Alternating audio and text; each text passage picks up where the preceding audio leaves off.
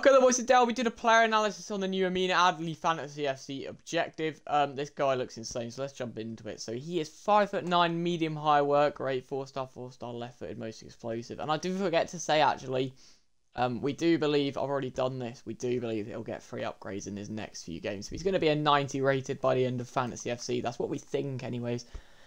Um, so that is a decent. Obviously, you're going to need some Leverkusen players to link him. Um, but let's have a look at these stats then. So obviously this is stuff that really, really matters. We've got 89 pace, 87 shooting. Um, just trying to pick out our weakness here, boys. Nothing wrong with the passing, nothing wrong with the dribbling. Yeah, only it's an insane card. And he's got first touch plus there, so obviously that's decent. Uh, and let's have a look at how much the objective, you know, how much you're going to have to grind for.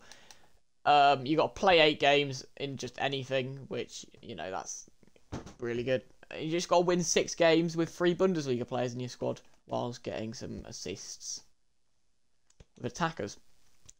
Yeah, I mean that is literally so easy to do, boys. Probably like you know that's just what they do with objectives now. They just make it so easy to complete.